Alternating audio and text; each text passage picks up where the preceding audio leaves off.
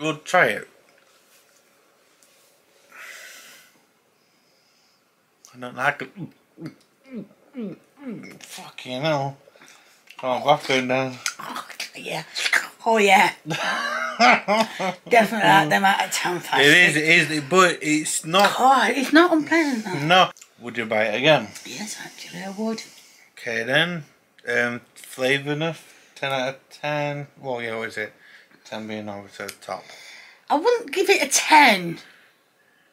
I'd probably give it about a 9.5. So, I know it's only half off, but I would say probably about 9.5. Okay then.